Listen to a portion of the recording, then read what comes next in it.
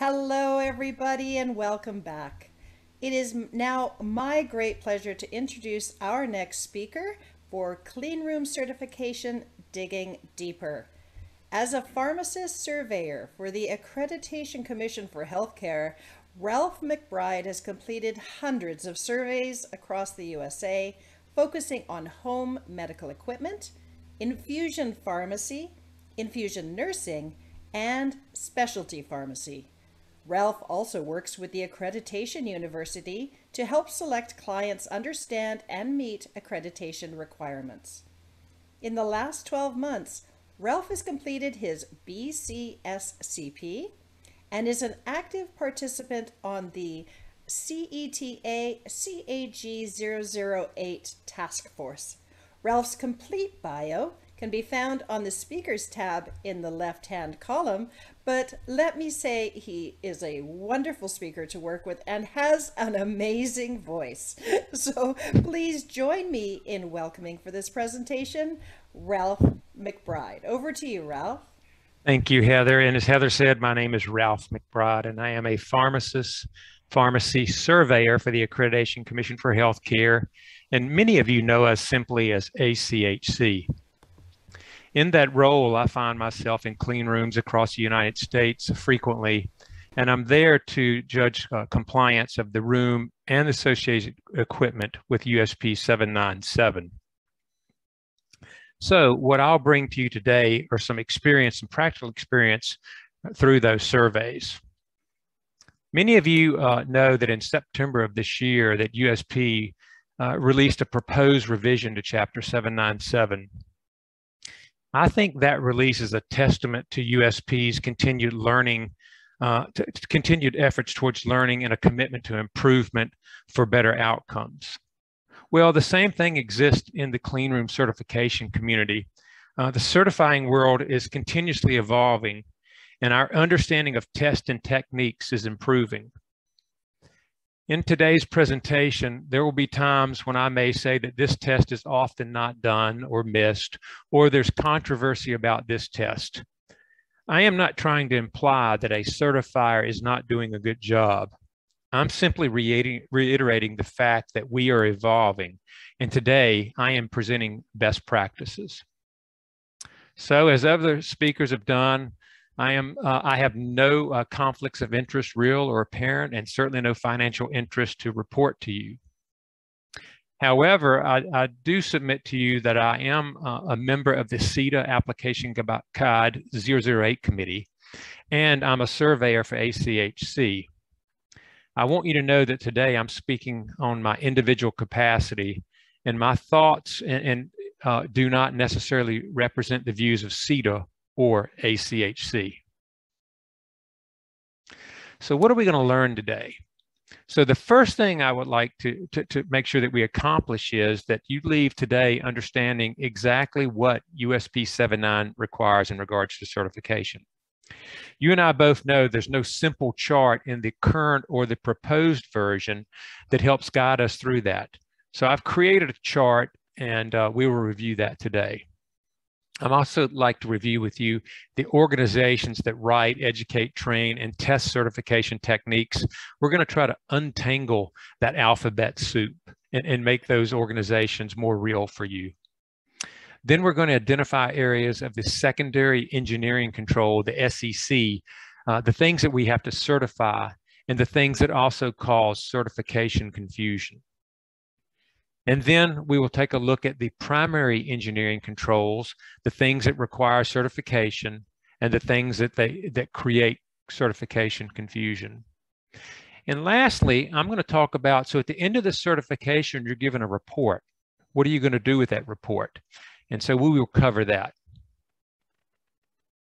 Uh, as I was uh, preparing for today's talk, I wanted to make sure that we, we um, address the items in the fat part of the bell curve for sterile compounding. So uh, as you know, sterile compounding is, is, is, is deep and wide. And so today I, I want to talk about the things that I'm not going to be covering. I, I will not be covering radiopharmaceuticals. I won't be covering uh, segregated compounding areas. Happy to answer questions about those. I'm not going to be covering aseptic isolators, aseptic containment isolators. Uh, I don't plan on doing integrated vertical laminar flow zones, but I'm happy to answer questions. We're not going to talk about the low volume exemption for compounding HDs or the displacement airflow versus the use of an anteroom.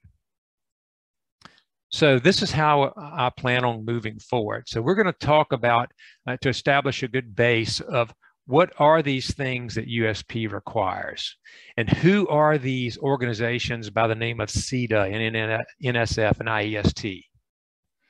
Then we're going to talk about the secondary engineering controls. We're going to talk about the tests that must be performed in the areas of confusion. Uh, we're going to talk about the primary engineering controls. We're going to talk about the, the specific test in the areas of confusion. And then we're going to talk about, okay, I've got this report. What am I going to do with it? So let's jump right into what does USP 797 require in regards to certification? So the first thing I'll submit to you is that both the current chapter and the proposed 2021 proposed version both agree that your clean room uh, suite should be certified using a, the certifica certification guide for sterile compounding facilities, which is also known as CAG 003. Now, that is a CETA document. You'll notice that the 2021 language is identical except for it adds or an equivalent guideline. I will tell you that I am not familiar with uh, such equivalent guideline today. So uh, one of the first things I would suggest you take a note on is that if you've never read CAG 003, the next time your certification vendor comes in, I would review that document with them. Because remember, USP is saying you need to certify your room to those standards. Now, what are the tests that are specifically discussed within USP? So the first one is air changes per hour in your SEC. And both chapters agree that's important. And we're going to talk a lot more about air changes per hour. Both chapters also agree that they you the certifier has to perform test and certify that your pressure differentials are according to what the chapter says they need to be. Certifier also needs to do a HEPA filter integrity test. Your certifier may call this a HEPA filter leak test. And please remember that's any HEPA filter, and we'll talk some more about that. Your certifier has to do ISO classification in your SECs and your PECs. You may call this particle counting. Um, there is a really important thing about these the, those two tests. Uh, and those are, if you'll notice the asterisks, those tests must be performed under dynamic operating conditions. And I will tell you, there's been great confusion about those words, dynamic operating, uh, operating conditions, and we are going to dig a little deeper later on about that. Both chapters also agree that the uh, compounding suite must be comfortable and well lighted. And so let's just talk briefly. Comfortable, uh, many of us have this number of, uh, uh of 68 degrees F or lower. The chapter really doesn't say that. The chapter says the room's got to be comfortable. So as a surveyor, one of the questions I'll ask your staff, and I'm sure boards of pharmacy do the same thing, is are you comfortable when you when you're in there performing your activities, whether it's cleaning or compounding? Uh, and so comfortable. The well lighted one gets even more interesting. Um, the chapter says that the room, it says it must be well lighted, but it never defines in that chapter what that means or where you measure it. Now, there is a USP chapter uh, that defines well lighted uh, for a compounding, for compounding sterile products, but it never tells us where to, to measure that. So the certifiers that I work with will all say that, you know what, it's a great, it's a great thing, but we don't know where to get it. So a lot of people just don't measure that. I will tell you as, a, as an accreditor, uh, as a surveyor, what I'll do is when I enter a clean room, if all the lights are burning and it looks bright, then I, I think you've met that standard. If, if I walk into a clean room uh, and half of the lights have burned out and they need replacement, then yeah, that's probably a different story. Both chapters also agree that the air coming out of your PEC must be unidirectional, which means flowing in one direction, and it must be uniform. Now, this is really interesting. The air coming out of your PEC, uh, the, the chapter, USP 797, says it's got to be unidirectional, but nowhere in the chapter does it define uniformity. The word uniformity is actually in the definition of unidirectional airflow. So that's the reason I put unidirectional and uniformity on the same line here. Both chapters agree that you've got to do a dynamic smoke pattern test in your PEC.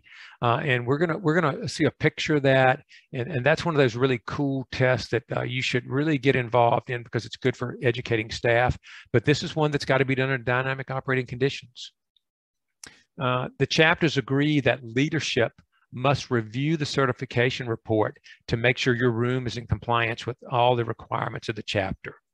Uh, and so we're going to talk about a tool that can help with that. And the chapter also talks about uh, that items introduced into your classified space need to be disinfected. And so the current version basically says, you know what, let, us use 70% sterile isopropyl alcohol, which I'll call SIPA going forward. Well, I like I actually like the 2000 proposed version because it says, you know what, you could use a spore sporicidal agent, an EPA registered disinfectant or sterile uh, or SIPA. Uh, you need to apply that with a low lint wipe with someone wearing gloves. Now let's think about this. We know that our certification professional is going to bring lots of equipment in our room. And we know that that equipment's been in other facilities and it's been transported between the facility and their vehicle, in the back of their vehicle, and then, then into our establishment. So it seems to me there's lots of chance for contamination. So if I were uh, right doing an SOP, I would probably say, you know what, we're going to use a sporicidal agent. We're going to apply that in such a manner that it stays wet for the appropriate dwell time. And then uh, we will um, allow that in our classified area. Now, I realize that some people love charts like I do, and this is sufficient, but some people like to see sort of what's behind the curtain of the chart. So in today's supplemental reading, um, you'll see that I've included a document, what does USP require? And that will actually give you the language that supports each one of these yeses that I've put on the charts. All right, so let's let's talk about some of the equipment that's going to be introduced into our room. First, I want you to know that this is not to scale. Uh, so this first item here uh, is a uh, what's called a capture hood. And a capture hood, just to put it in perspective, is about three foot tall, and this is about two foot cubed on top. So capture hood is a, is a large piece of equipment, and the blue part there is a fabric. So not only is it a lot of surface area to clean, but it's the difficult surface area to clean. This gadget right here is called electronic manometer. And this is what's going to be used to verify your differential pressures. I want you to notice on the scale here that that's three decimal places, and that's going to become important here shortly. This is a smoke generator. They'll use this little gadget to generate smoke to do the smoke testing. This is what's called a thermal anemometer. So this is the gadget that they're going to put in your PEC to test those uh, airflows. There's a particle counter that will be used for your ISO classification. And this is an aerosol photometer where they will actually do HEPA filter integrity testing. And besides the equipment on, th on this particular slide, there's others that I didn't incorporate into this slide, such as the gadget that generates the aerosol that this is measuring. The point of all of this is there's lots of stuff getting ready to be brought into your room. And you need to make sure that your SOP effectively manages that. And so make sure, so take a note and make sure your SOP addresses how this equipment is going to be cleaned and disinfected. All right, so I promised we were going to talk about uh, the term dynamic operating conditions. And I said there was lots of confusion, and I'll tell you where I think that confusion started. Uh, when the original version of USP 797 was released, uh, the chapter was very clear uh, the ISO classification uh, had to be done under dynamic operating conditions. Uh, smoke studies for the PEC had to be done under dynamic operating conditions, at least the dynamic uh, smoke study does. But they never defined in the chapter what dynamic operating conditions are. Well, and I think one of the reasons is because the chapter said, hey, we're going to be certifying this room according to CETA CAG 03 and within that document, dynamic operating conditions are defined. So, and not many of us have a copy of that document. So let me tell you what the current definition is, and then I'll, talk, I'll tell you about where we're heading. So what, what, what dynamic operating conditions includes is that the conditions under which a certification, certification occurs, all actual operating personnel are present and performing actual simulated conditions. Now let's let's look at this operating personnel. So I hear often where people say, "Oh, don't worry," uh, versus our one compounder, the certifier was in the room. I'm here to tell you the certifier is not an operating personnel. They don't do the things that your compounding staff do. They don't generate the particles they do. So you need your operating personnel in the room and they need to be performing actual or simulated operations. Well, in the 2021 version uh, that just came out in September, they've used the same definition, uh, but they've added some really, I think, very effective clarifications. And what they've said is the conditions should reflect the largest number of personnel and the highest complexity of compounding. So let's break this apart let's say that you have a compounding room and on Wednesdays you try to batch TPN and on, on those days you've got two TPN compounders and you've got one compounder that's doing uh, immediate starts and also some chronic care therapies. So you got three people in the room. Well, the way uh, dynamic operating conditions is uh, when you're doing the ISO classification of that room, you need to have three personnel present and they need to be simulating, probably simulating uh, um, the actual compounding. So I would expect two hoods to be simulating TPN compounding and one hood to be simulating other stuff.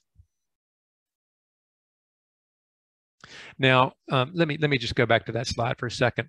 Um, some boards of pharmacy have really begun to understand this, and I'll give you an example.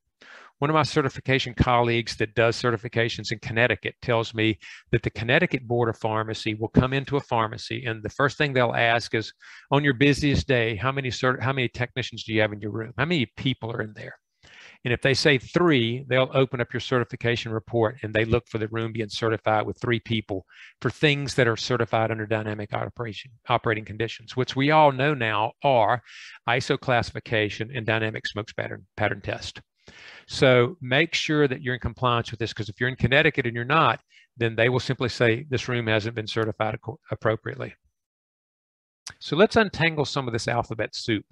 So who is CETA? Apparently they're pretty important because USP's recognized them, right?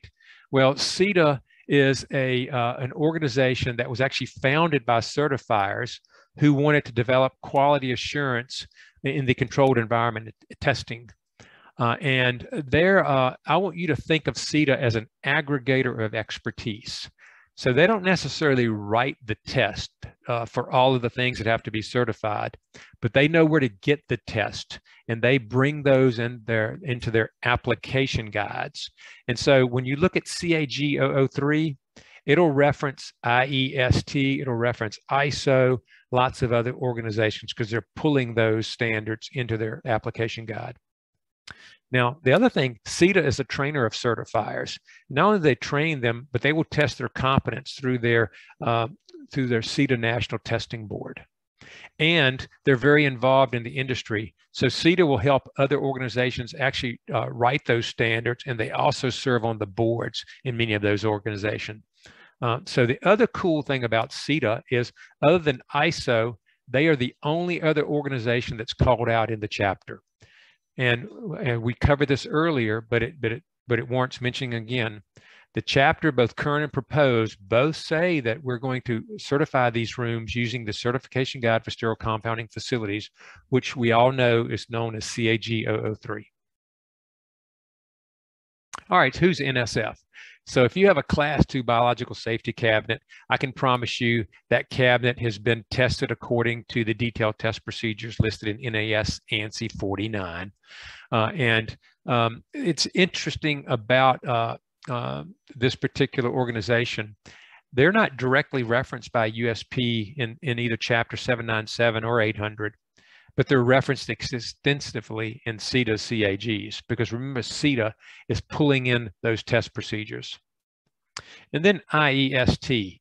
So the Institute of Environmental Science and Technology is a nonprofit member organization uh, that provides technical guidance through international standards and recommended practices. Now, I want to key in on this recommended practices. Um, and um, just for an example, uh, when you go to test a HEPA filter for leaks, uh, the standard that you use is IEST RP uh, 34.4.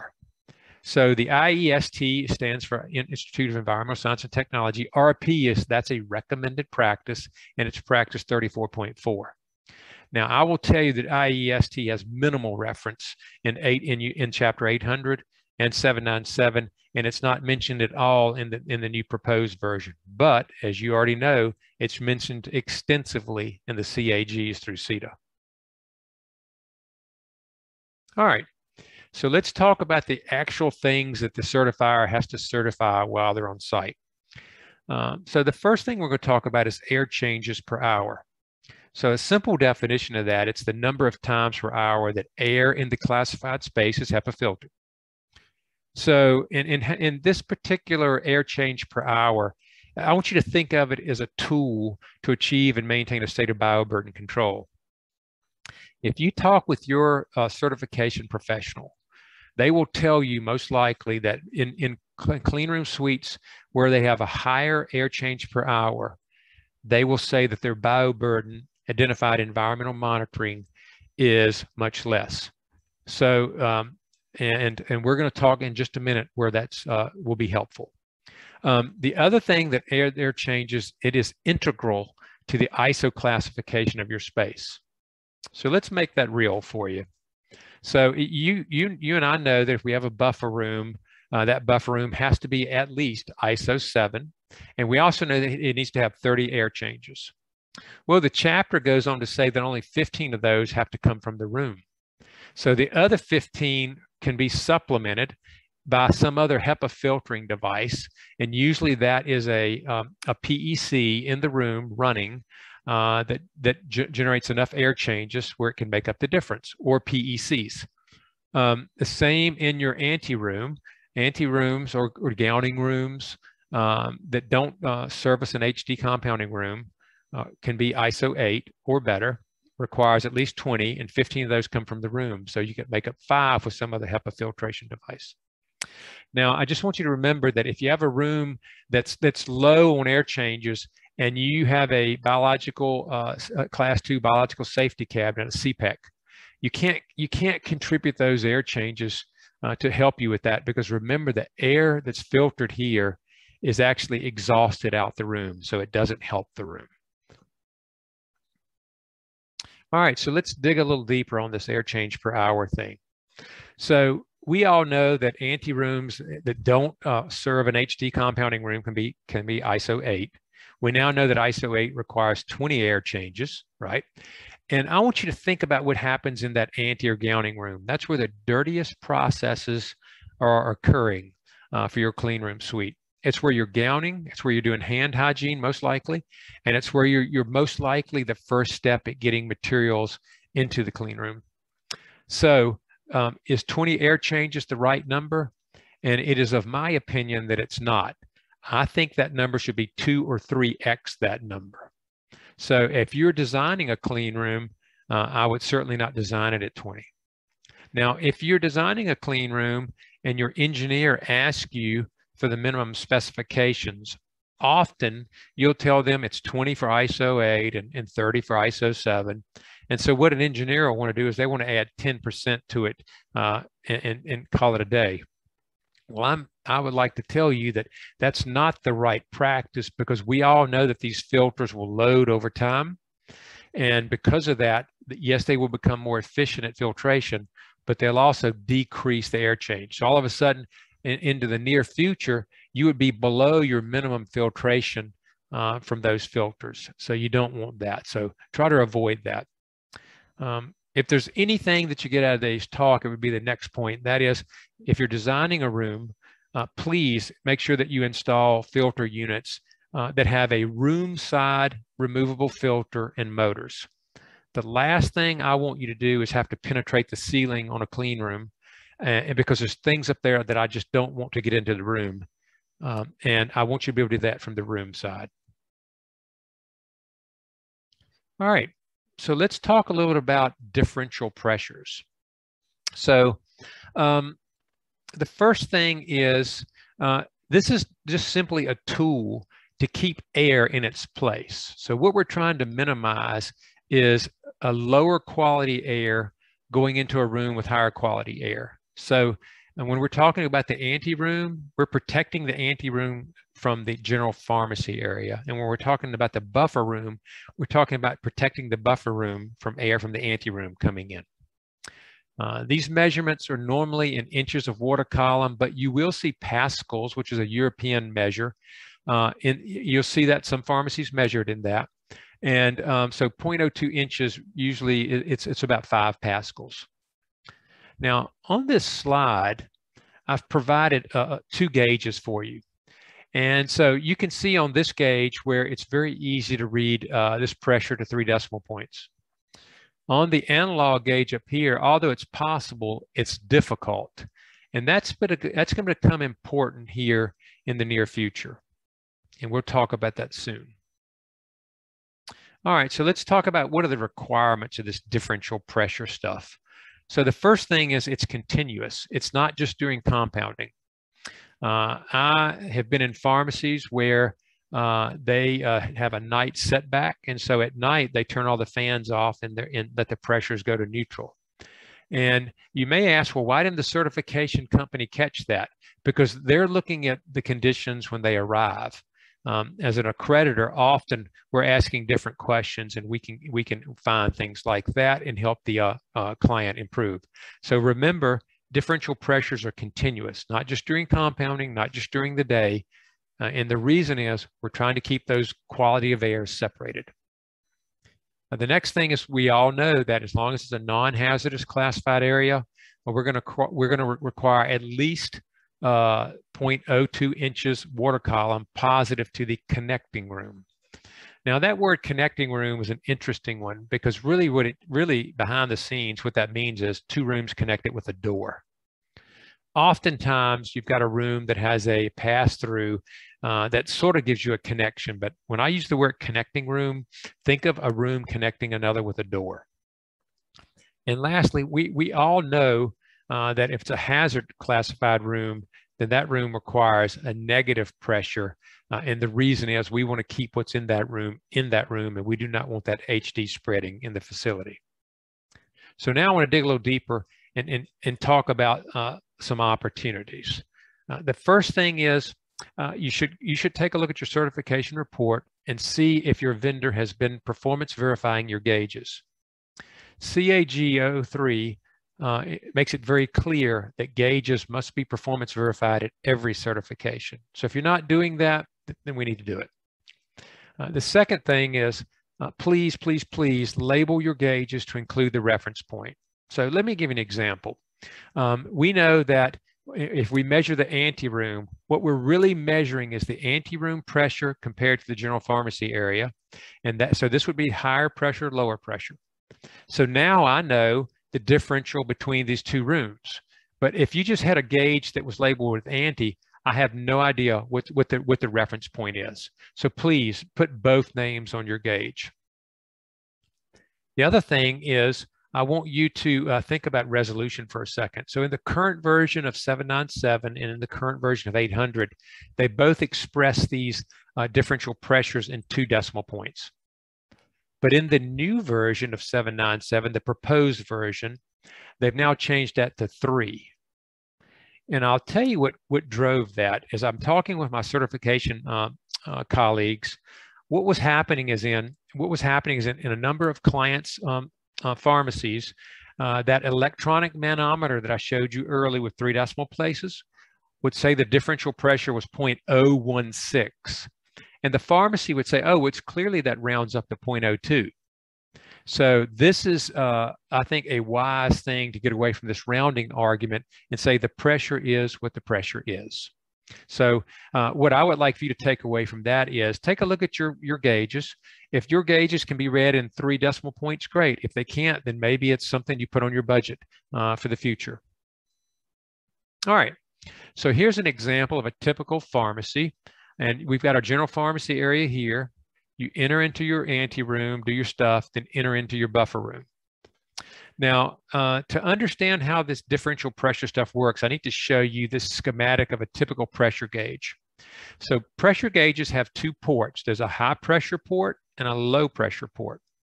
And so just think about it. If we were going to measure the pressure differential of these two rooms, I would want my high pressure port here in this room, and I would want my low pressure point here. And so the gauge is going to show tell me the difference in the pressure, i.e. the pressure differential.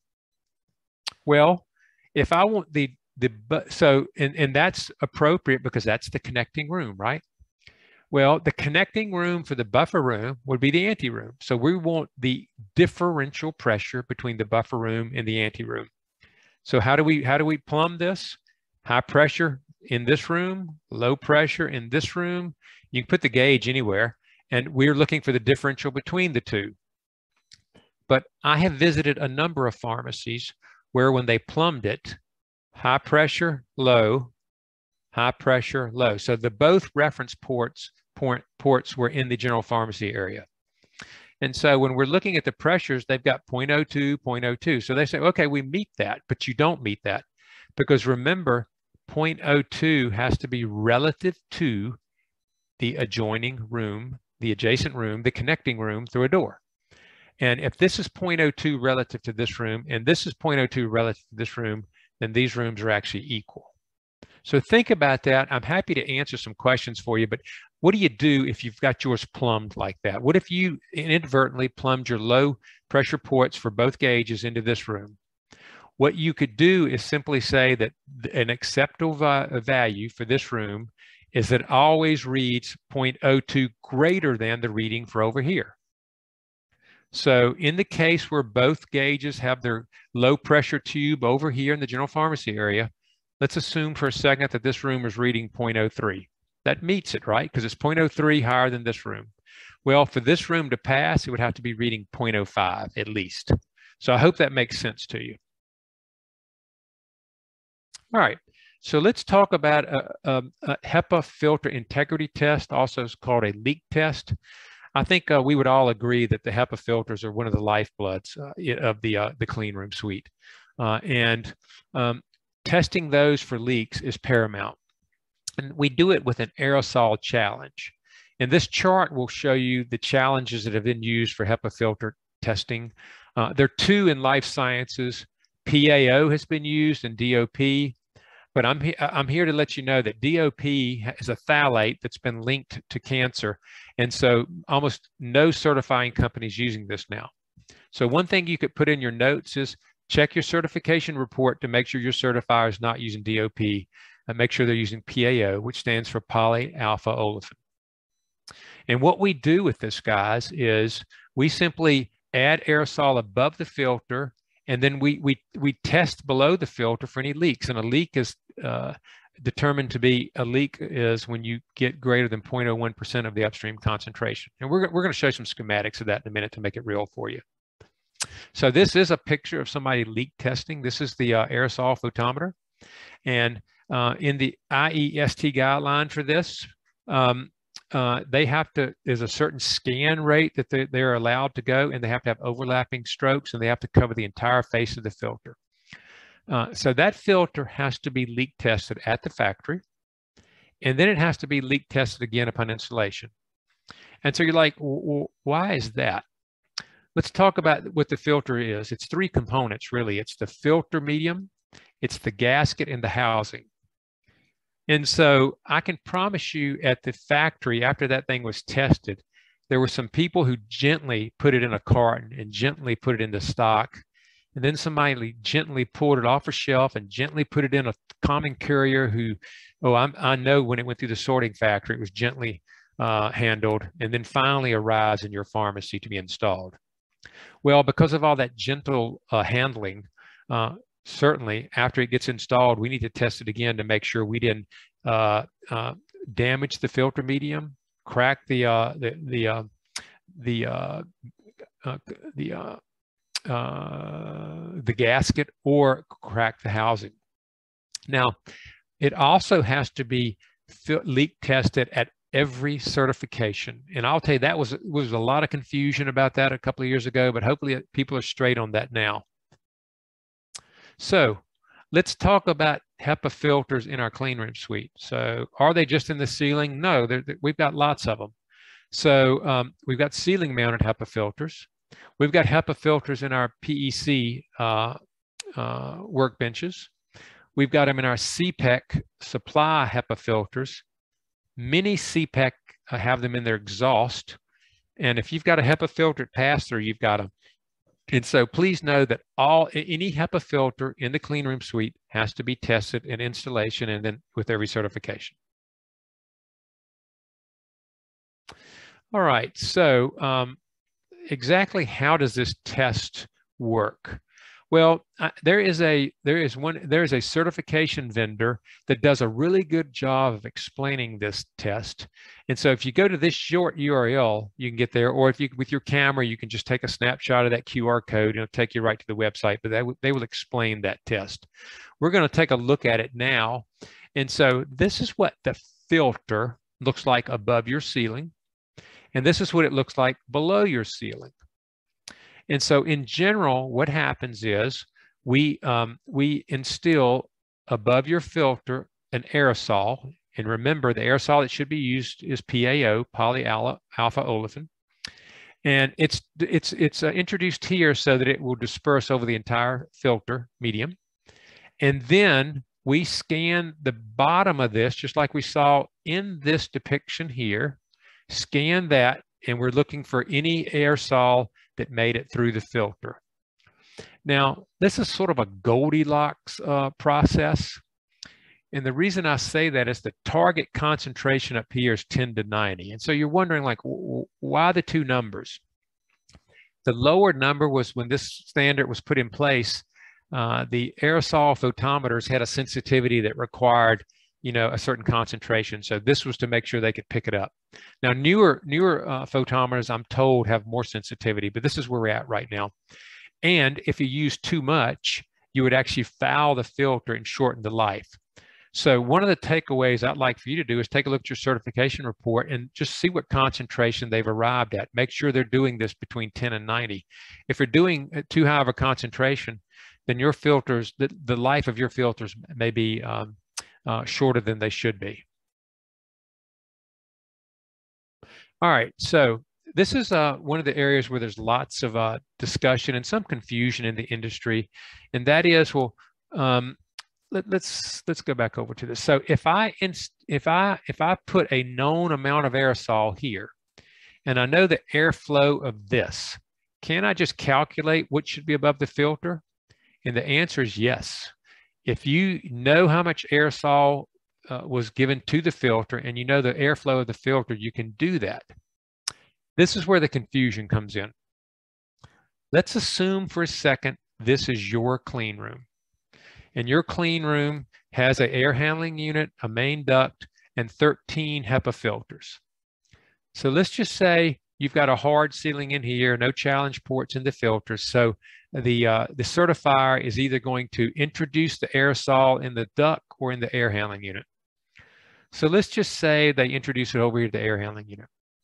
My question for you is, how do you know, not assume, but how do you know that this filter has the exact same amount of aerosol as this filter?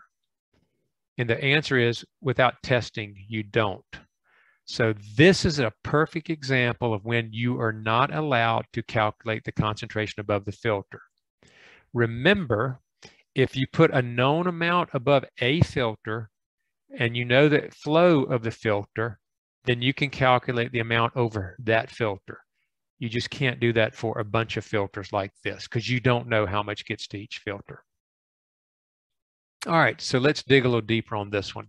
So if uh, if you have some older HEPA filters that have been installed, they don't have challenge ports on them, what do you do?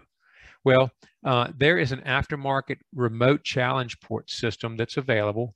And there are at least three different systems on the market. And this is sort of a representative of what they all do. They all have this dispersion tube here. And that dispersion tube is placed above the filter so that it will disperse the aerosol over the, over the face of the filter. Uh, this introduction port is normally placed, uh, let's take a look at one of these filters here. It's normally placed either near the filter or in a different room so that you could inject the aerosol here and it's going to travel via that tube through the dispersion tube and then you can test down here. Okay, and then um, so you're wondering, well, if there are three on the market, which one do I use? And are, you know, first of all, this isn't really high tech stuff, but there is some science about the diameter of the tubing and the diameter of these orifices so the aerosol doesn't rain out. Uh, so what I recommend is that you work with your certifier to select the right port system. Now, where you put this introduction port is uh, some art and some science. Let's look at this. Pat, Let's look at this here. So if we put it here, which a lot of pharmacies do, and the certifier is introducing the aerosol here, if there is a leak at the junction of the aerosol generator and that port, then as you scan this, you could get a false uh, leak test for this filter. So some uh, certifiers want to put that port in a different room. So my point is work with your certifier to determine which works best for you. All right, so we're going to talk just a little more about this uh, HEPA filter leak test. Uh, twice in the last year, and I just read about another example last night. Uh, there are pharmacies uh, that upon certification, they had a ceiling mounted HEPA filter that had a leak that could not be patched. And so their final report was the room couldn't be certified. And you, you and I know what that means is you have a BUD that's unsustainable. So what do I recommend? I recommend two things. One is uh, an extra HEPA filter is not uh, prohibitively expensive. So I would get one extra HEPA filter. I would place it in a secure storage where it won't get damaged. And that way, if I have a I have one of my ceiling mounted HEPA filters that is uh, that's damaged and can't be uh, patched, then it could be replaced by the certifier the same day. Uh, the other thing is I'm just going to remind you is that small leaks in any HEPA filter can be patched, and they can be patched up to 3% of the face of the filter. Uh, we do limit the repair width to no more than an inch and a half wide, but you can go, the length of that can be what it needs to be as long as you don't exceed 3% of the face. So the takeaways here are keep an extra filter on hand and, and make sure that it's been patched if it can. So um, that's a lot of information. What can you make sure is on your certification report so all this, uh, you can make sure all this is right? Well, the committee that I sit on, CAG 008, uh, and, and I will tell you that there will be a 2021 version of that coming out uh, in the near future. Uh, but this information really hasn't changed. So what you should require of the certifier is that they tell you where they introduced the aerosol, what the upstream measurement uh, location is, what was the concentration measured, because remember you're comparing that to what's below the filter. Did they measure or calculate this? They need to give you a diagram of all the filters with any indications of leaks or previous patches, and they need to tell you if it passed or failed. So uh, take note of this, look at your report and see if your report has this information. Now you may want to, you may ask, well, Ralph, they don't say whether they, they calculate it or uh, if they measured it. So what do I do? I'll tell you how you can figure that out. So let's go back to this schematic here a second. Let's say that you get the report for all 13 of these filters. And on the uh, HEPA filter leak test, they have the same concentration for every filter. Well, I'll tell you if they if you have that, then they calculated this and they they introduced it somewhere over here, which we all we, we already know is not appropriate. So in that case, you know they did a calculation, and that's uh that's an opportunity to have a discussion with your certifier. All right, so let's let's change to the next test, and that is ISO classification. So remember, ISO is one of the two organizations that's actually mentioned in the chapter, and um, basically we all know that uh, our PEC has to be ISO 5 or better. The buffer room has to be ISO 7 or better. And, or, and the ante room can be 7 or 8 or better, depending on what, what is connected to. What I want you to know about this is remember that ISO classification has to be done under dynamic operating conditions. And so uh, when you um, have this test done, make absolutely sure that your certifier documents on the report. I recommend not just the number of people, but the names of the individuals, and they should say what they were doing. Because if you reflect back on the definition of dynamic operating conditions, it talks about the maximum number of people, doing actual simulated compounding, and it's the normal things that they do. So make sure your report uh, states that. The other thing I want you to learn from this is that uh, let's say that you have an ante room that comes back with an ISO classification of six, which is which is possible. Uh, and um, so, uh, do you have to keep it at six? And the answer is no. You can look at the certifier and say, I want that actually certified as an eight. And the reason you might want to do that is remember ISO levels determine your action alert levels within environmental monitoring.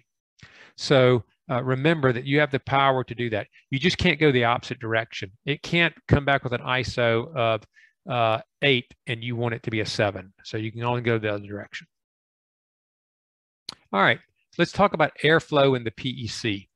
So um, uh, the air in the PEC needs to be moving in a single direction in a uniform manner, and it needs to do that in such a velocity that sweeps particles away from the DCA. Uh, and so the principles here are that we've got sufficient flow to sweep those particles away, and that flow is going one direction, and that airflow is uniform. Now, I want to talk about this uniformity thing a second. Uh, um, let's just assume for a second that we measure all the airflow in this PEC, and the airflow on this side is 150, and the airflow over here is 50. The average is going to be 100. And Well, I can tell you 100 is exactly where um, CETA would accept. The problem is it's not uniform. And, and certainly we don't want 150 over here and 50. So uniformity is generally plus or minus 15 to 20% unless the PEC vendor says something else.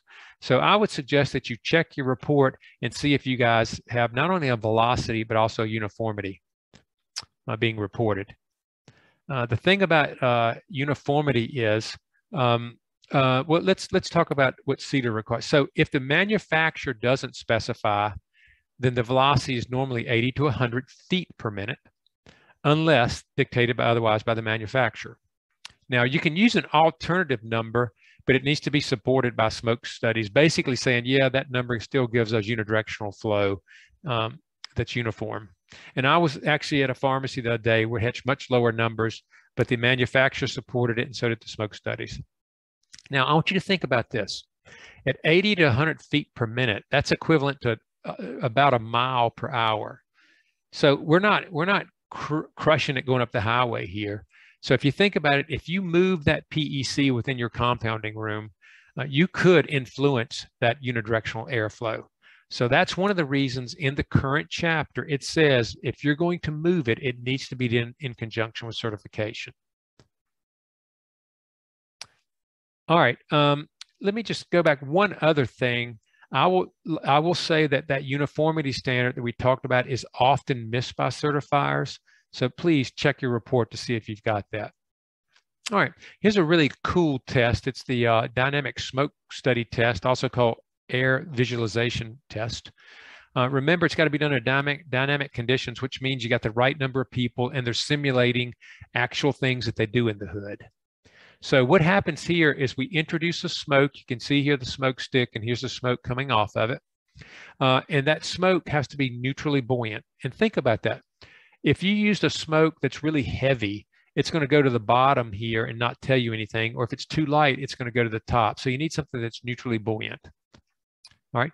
And the purpose of this test is to really observe air patterns so that we can make sure we understand where the direct compounding area is. So the purpose includes figuring out the optimal layout for that dynamic, that direct compounding area. So let's assume for a second you got a TPN hood. In that hood, you've got this massive automated compounding device. So the question becomes, where's the right place to compound? And that's what the smoke study will help you determine. Uh, it will also help you educate staff on the impact of devices and hand placement. But if you go back here, uh, one of the things is hand placement here that the compounder can see in real time uh, if, they, if they're blocking first air. And it's going to confirm if the PEC is uh, doing its job for the intended purpose. So is that the right PEC with the ACD to do TPN compounding?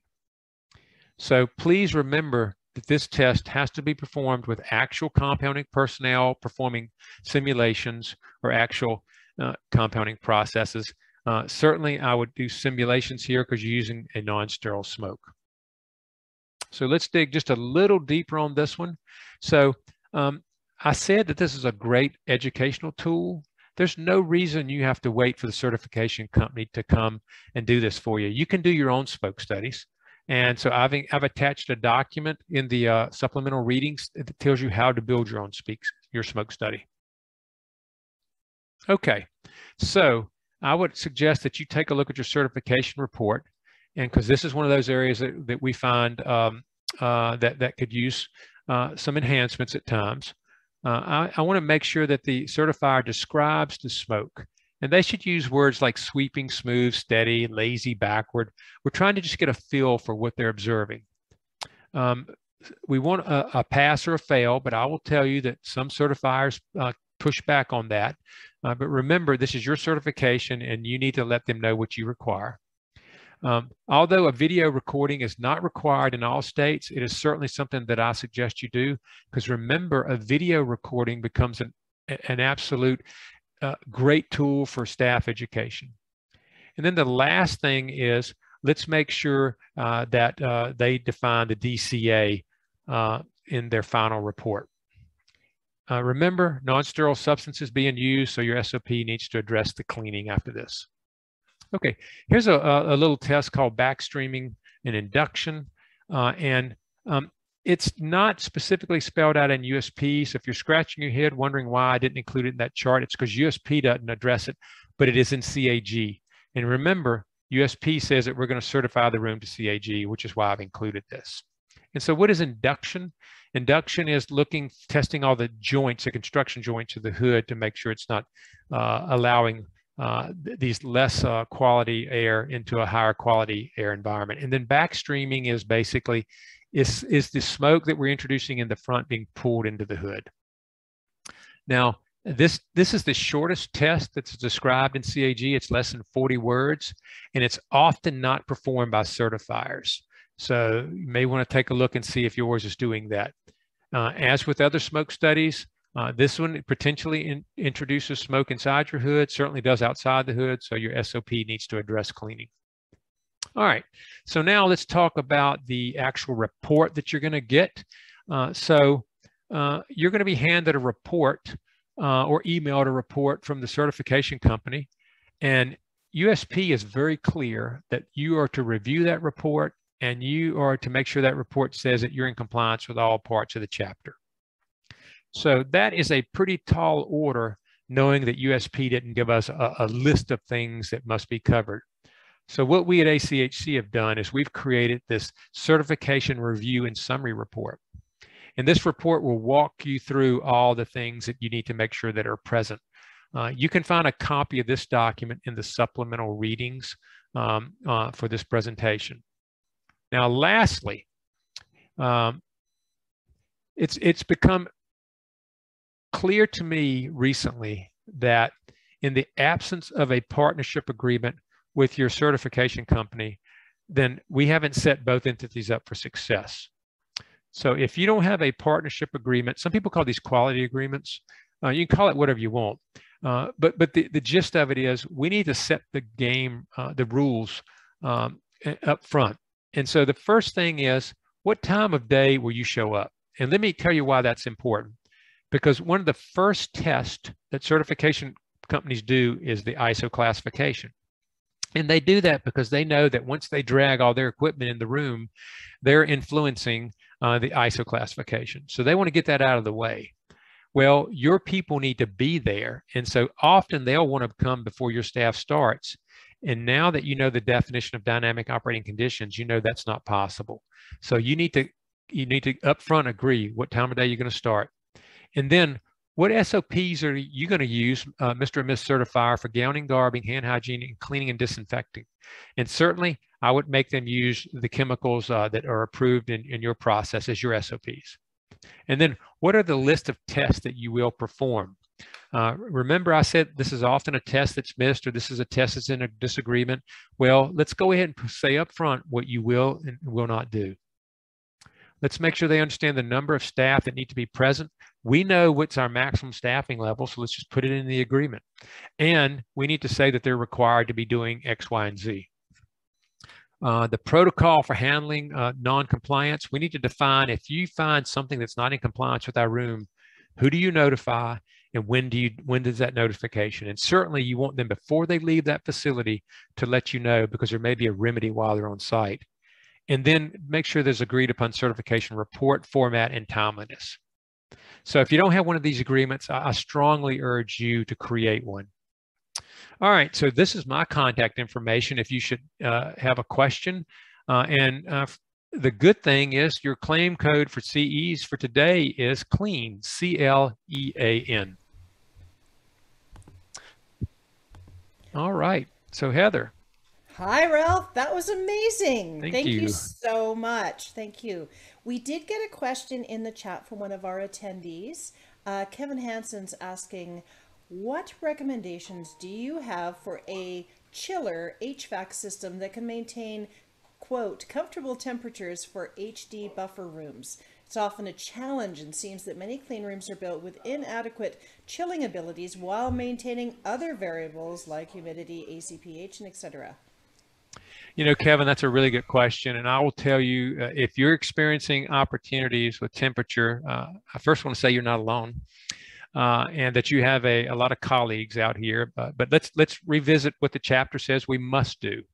So let's break this down into temperature and humidity. Uh, so the temperature is, remember, it's uh, the, the chapter says it must be comfortable, and that's usually 68 or less. So it really it depends on what your staff is uh, is comfortable with and what your policy says. If your policy says we will keep it at 68, then you have to keep it at 68. Um, so now let's talk about humidity. Humidity is a recommendation in the chapter. It's not a requirement, uh, but uh, I am a believer that temperature and humidity are ingredients for growth in the room. So we need to manage both. Um, uh, it sounds like uh, there needs to be some further discussions with plan ops and uh, some other people to get you to where you need to be. I will tell you that temperature temperatures tend to be more difficult in um, HD compounding rooms, and probably the reason is you're exhausting so much of that air through the uh, the BSC. So uh, I, I, wish you well with that. Uh, it's going to be an interesting conversation. Wonderful, thank you.